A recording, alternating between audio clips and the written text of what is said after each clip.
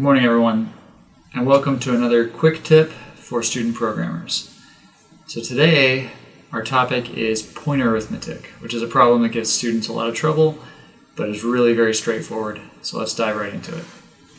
Okay, for this example, what I'm going to look at this program. Very simple program. We have a single struct that represents some form of packet. I just made this up for now. Uh, for illustrative purposes, it contains two ints, a type and an age. And what we're going to do is look at when point arithmetic comes up most often is when you've got a big block of memory and you're actually trying to get a pointer at some fixed offset in that block of memory. So let's uh, just let, us create a block of memory.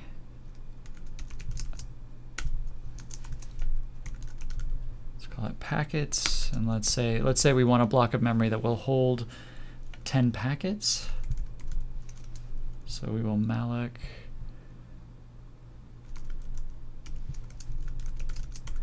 So with malloc, part of the confusion that we're going to get into, the students get into, is that some things use bytes, some things use other multiples. So for now, we're going to say we want room for 10 packets. And then let's just say we want to create a separate pointer that is going to point at the second or let, us say the third element in that in that array. So how do we do that? Well, I mean, one possibility, of course, would be that we could just use array notation and say we want this to be packets 2, right? And that, that would give us the third element.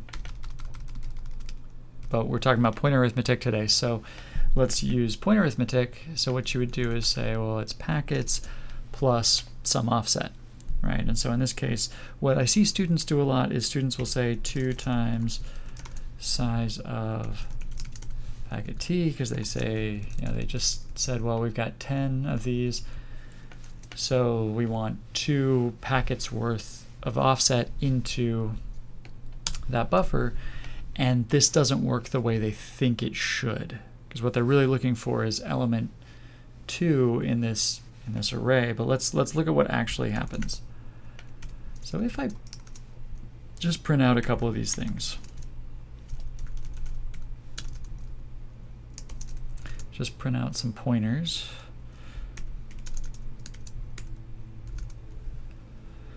And just for reference, let's print out what the size of packet underscore t is, because that'll help us make sense of all of this. Um, packets p2 and size of. Okay. So now let's let's compile our program and then we'll just. Oh. Ah. Got my types wrong. This needs to be long unsigned.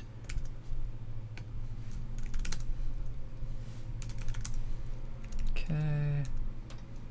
So now what we're going to do is we're just going to run our program, and what we see is a couple things happened.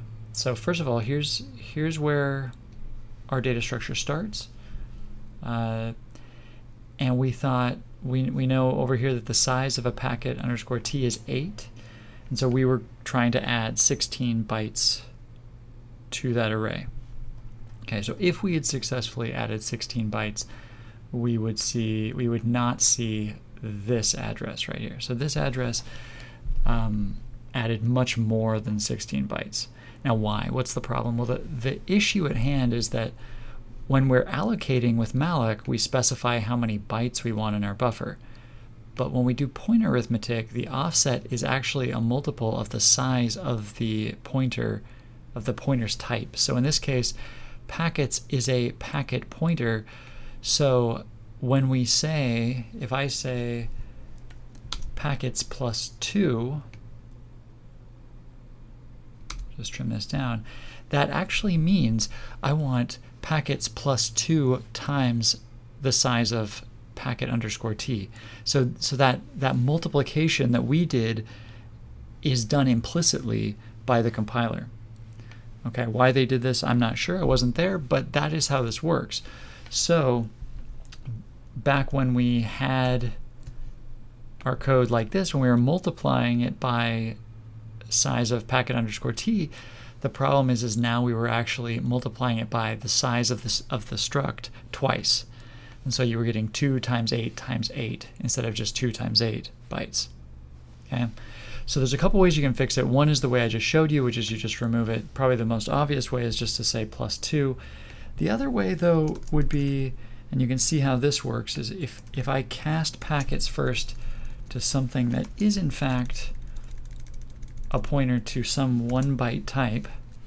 Now, in practice, this is kind of ugly, and I don't recommend you doing it, but it helps you see what's going on. Um, oh, yep, then I'm going to have to cast it back. Like I said, it's ugly.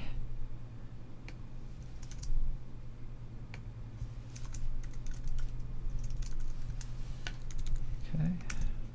So, so basically I just casted the original packets to a character pointer, which characters are one byte, do the pointer arithmetic, and then cast it back to a packet underscore t pointer. And now we can take a look at what this does.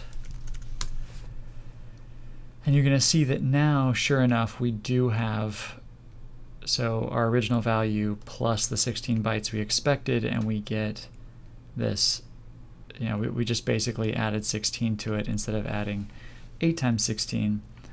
And so, so this is another way to get the behavior that we were actually looking for. Now, in reality, you wouldn't do this.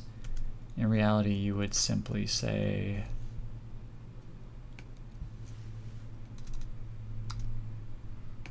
you would simply say, I want packets plus 2. But I just wanted to point out how that works that essentially when you when you add 2 to a pointer to this pointer what you're actually saying is I want packets plus 2 times size of packet underscore t bytes. Okay, so this is just something to keep in mind. Anytime you're doing pointer arithmetic, you got to pay attention to the type of the variable that that you are adding uh, an offset to, because that will be computed into your offset. All right, hope that saves you some headaches. Happy coding.